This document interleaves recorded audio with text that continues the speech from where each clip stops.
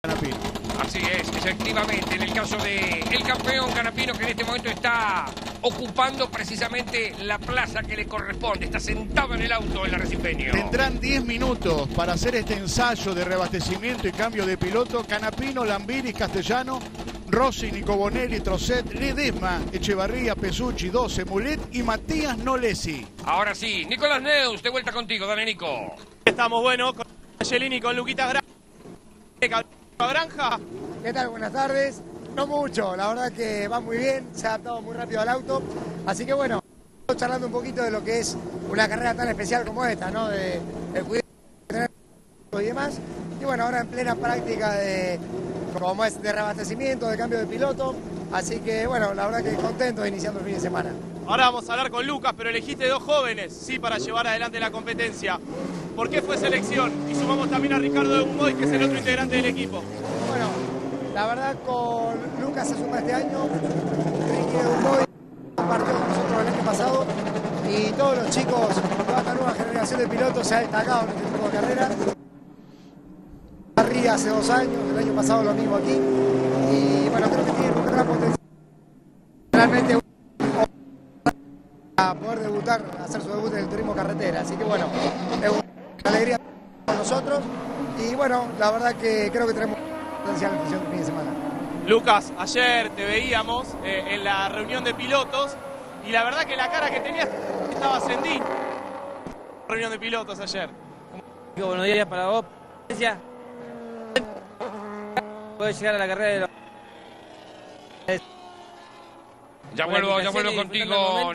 Nicolás, porque se, se entrecorta la, la emisión desde la zona de boxe, por lo tanto, para poder este, prolijamente comenzar estaba el Tati Juan Marcos Angelini, que tendrá a Lucas Granja y a Ricardo de Gumois como sus compañeros. Es un caso de elección de pilotos por capacidad, pero que con una diferencia con el físico de Juan Ah, sí, Marco Angelini. Exactamente. Veremos quién está incómodo de los tres, porque la butaca Angelina necesita más atrás por su físico. Claro, mucho más alto que Ricardo y que, y que, y- Y- que Lucas Granja. Exactamente. Claro, así es. Así que tendrán que compensar de alguna manera si los petizos se estiran un poco o los larguiruchos se encogen. Veremos cómo hacen en este caso para ponerse de acuerdo. Ahí se iba el auto de, de Matías Rossi. Matías Rossi con Gastón Ferrante y con Federico Iribarne. Mientras el presidente de la CTC, lo veíamos allí, Hugo Mazacane presente en los boxes. Bueno, viendo todo lo que está sucediendo en este momento. Recarga de combustible, en este caso, en el castellano Power Team. Nano Escalada. Ahora vos, dale, Nano. con Mariano Altuna, que ustedes hoy lo veían por imágenes y hablaban del mono. Otra vez arriba de un TC mono, otra vez en el Galvez. Las sensaciones, se extraña la categoría. Es lindo siempre estar corriendo y más estas carreras especiales. Buen día. ¿Qué tal? Buenos días a todos los televidentes. La verdad que sí, de vuelta muy contento de estar acá en una carrera tan importante como son los 1000 y en la categoría donde no- no- nos hizo conocido, ¿no? TC, donde tantos años estuve. Y ya el segundo año consecutivo que no puedo estar por cuestiones pre- presupuestarias, pero bueno, siempre es lindo estar arriba de un, de un auto, de un Chevrolet y bueno, acelerando. Así que, La pregunta siempre es la misma. ¿Cuándo volvés a ser titular? y realmente es así, cuando tenga el presupuesto me encantaría. O sea, eh, uno trabaja para eso, pero está cada vez más difícil.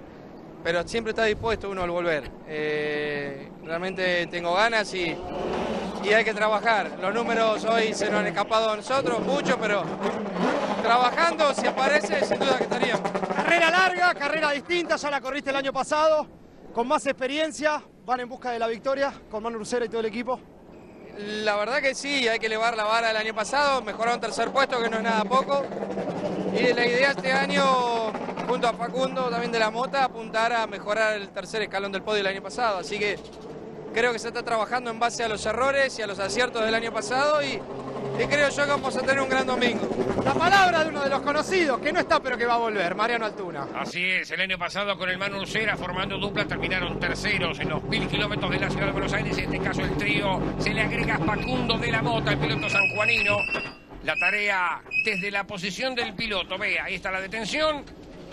Y en este momento el auto de Mauricio Lambiris en plena tarea, en pleno trabajo de, de recarga de combustible y cambio de piloto. Ese casco lo conozco, ese seguro y no me digan que no. Ahora, el volante hay que ponerlo en otro lado. Ustedes se fijaron cuando paró Arduzo, el volante tenía el gancho en el centro y no molestaba. Recién cuando lo pone Lambiri en ese lugar, Lo cabeció. que es el habitual, Claro.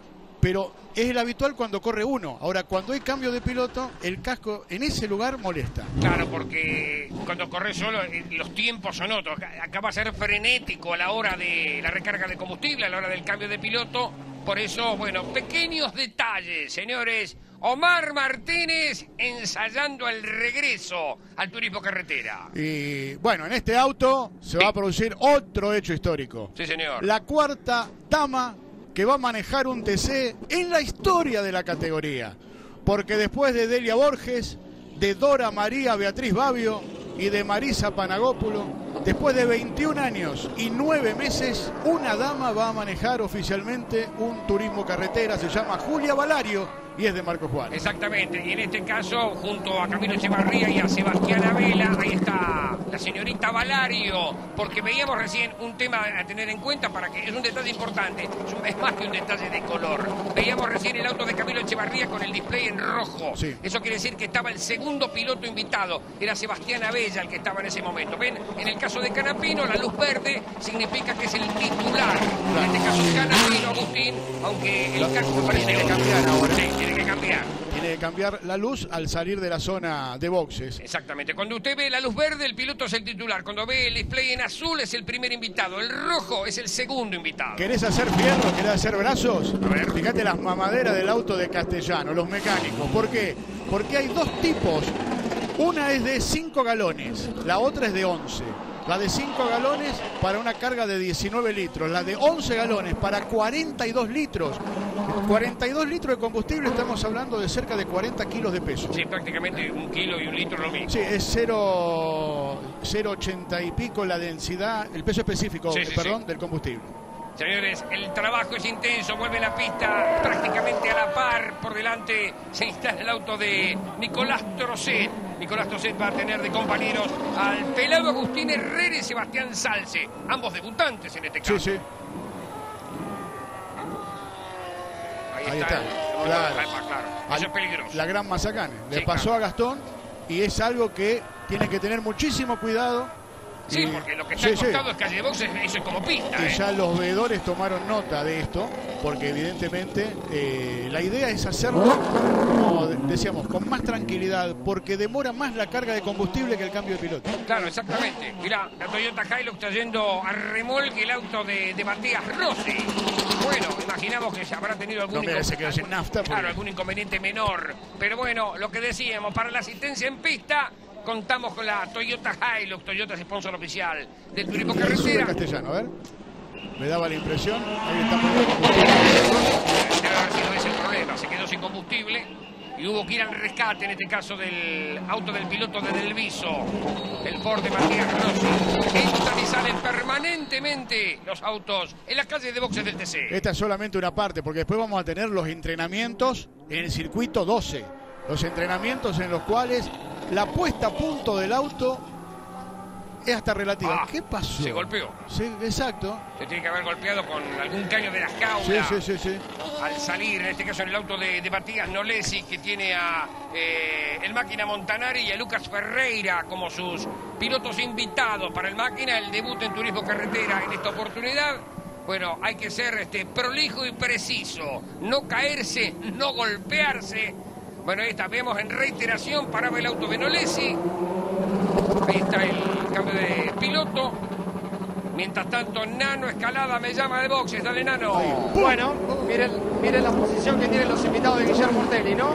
Abajo Pedro Gentile, arriba Diego Ciantini y Guille arriba del auto. Primero con Pedrito, esperando para volver a subirte arriba a un turismo carretera. Bueno, ya estuvieron girando, pero contámelas cómo, cómo se preparan, tanto vos como Diego y obviamente Guille. Sí, la verdad es como volver a lo que uno quiere, ¿no? Es muy lindo. Más al lado de Guille, mi ídolo. Y Dieguito tuvo también la oportunidad de girar, así que disfrutándolo con mucha concentración y responsabilidad. Ahí estaba Pedrito Gentile, Diego, a cumplir el sueño este fin de semana, nada más ni nada menos, con Ortelli y con Gentile. Sí, bueno, feliz de, de estar esta fecha. Agradecido a Guillermo, al JP a todo el grupo de sponsor. Así que bueno, eh, esperemos hacer una buena tarea. Todavía no tuve contacto con el auto, así que bueno, vamos a ver eh, cómo nos encontramos y poder estar a la altura de la situación. ¿Ansioso, nervioso o qué? No, ansioso. Eh, obviamente cargo con una gran responsabilidad, Pero bueno, creo que estamos en un buen equipo donde las cosas pueden salir muy bien. Podemos planear una buena estrategia y así pelear la carrera. ¿Vas a soltar el paracaídas o no? ¿Vas a soltar el paracaídas que tenés ahí atrás? No, no, pasa que no llego, entonces necesito un poco más de suplemento. Ahí está, No, no, bueno, no, chicos. Sí, decime, Sergio. Se equivocaron antes al salir, lo, lo Sí. confirmamos esto, ¿no? Se equivocaron de grupo, recién te lo preguntaba, se confundieron de grupo y ahora va a salir Guillermo. Sí, se equivocaron de grupo, Guillermo salió en un grupo que no tenía que salir bueno, ahora va así a su grupo. La ansiedad es mucha, Sergio, la ansiedad es mucha. Tenían Nano. ganas de salir y bueno, salió. Sí, decime, Marce. Preguntale a Diego Ciantini si en algún momento de la carrera justo viaja adelante un Chevrolet que lleva el número 19, que es el de Fontana, pero maneja un tal José Ciantini. ¿Qué va a hacer Diego en ese caso? Ante última vuelta, horquilla, están entrando a la recta principal y está tu viejo delante. Y define la carrera, ¿quién gana? Yo, por afuera, por el pato, por donde sea, pero yo. Ahí tenés la respuesta, Marce. Está todo nada. Gentile, ¿quién gana? No, veremos que gana nosotros. Ahí está, bueno. Chevrolet, Chevrolet. Ahí está, Chevrolet, dice Gentile. La fe del JP Carrera, Ortelli, Ciantini Chico y Pedrito Gentile, la formación que acompañará al heptacampeón del TC. Este es el auto de El de, Rossi. el de Rossi y la llegada del auto de, de Bonelli. Mira vos, Claro. el de, de Nico Bonelli, una situación que puede darse. Tiene prioridad el que inicia la maniobra de salida La respecto salida. del que llega. Exactamente. Cada vez que hay una carrera de tanta estrategia, Sí, a medida que se repite en el tiempo, la estrategia se va optimizando claro. y converge en la misma estrategia. Todos van aprendiendo. Claro, exacto. La diferencia con el año pasado es fundamental, que es que se puede ingresar para hacer este trabajo en boxes cuando la carrera está neutralizada. Algo que el año pasado no se podía. Y eso cambia radicalmente toda la estrategia. El año pasado hubo nueve neutralizaciones.